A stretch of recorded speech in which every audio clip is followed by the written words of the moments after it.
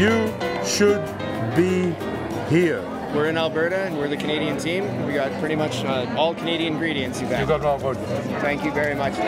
Tonight uh, we're eating a bouillabaisse, a traditional French dish uh, from south of France. French team always win. Good. It looks quite dainty in particular here. Yeah, okay, so it's uh, basically a cold version of lamb and mint. What's the main act? No, that's that. Come on now. So we took these elements of elk, something that we would hunt, rhubarb and beet reduction. It's topped off with a smoked bison pemmican. That's all I can say. Thank you. wow. That's delicious. What's this squiggly thing doing there? I don't really know. What's the standard of talent? It's very good. It's very, very This good. This is delicious. Lamb and mint, classic. I love the mint, like it's my kind of dish. Passion is the magical ingredient to creating great food. Canmore Uncorked is all about, we always say it, remarkable dining experiences. What do we call this? Canmore Hawaii? Uh, it's, Five-o? it's, it- it's Canmore Uncorked. The long table dinner. Fellas, you should be here. If you didn't get your ticket by Christmas, you wouldn't be here tonight, I think the event sold out in two weeks. We planned really early. We weren't going to miss it. Did you come hungry? yes, I am. I'm always hungry. Every restaurant in town has an opportunity to participate in a long table dinner. They get a chance to propose a dish, anything from dessert, cocktails, palate cleansers, protein, salads, and then uh, you get selected to be part of the long table dinner.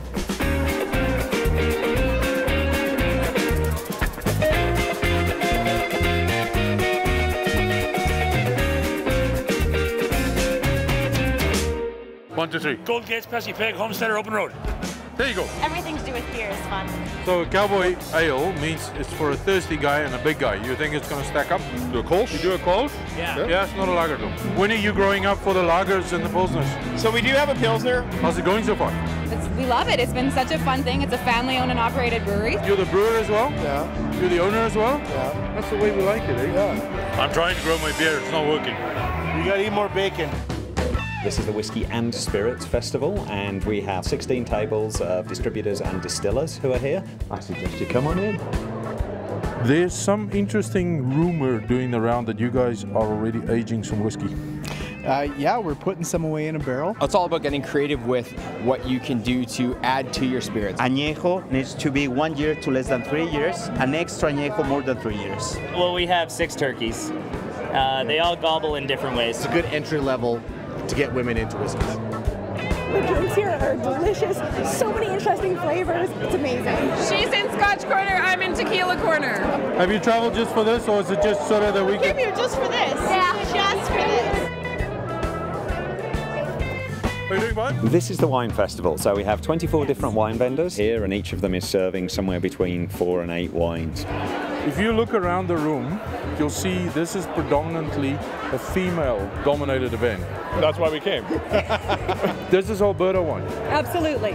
All this fruit is grown in Alberta, and it's all made on our farm east of Calgary. I'd love the Carmenere. Where's the Malbec?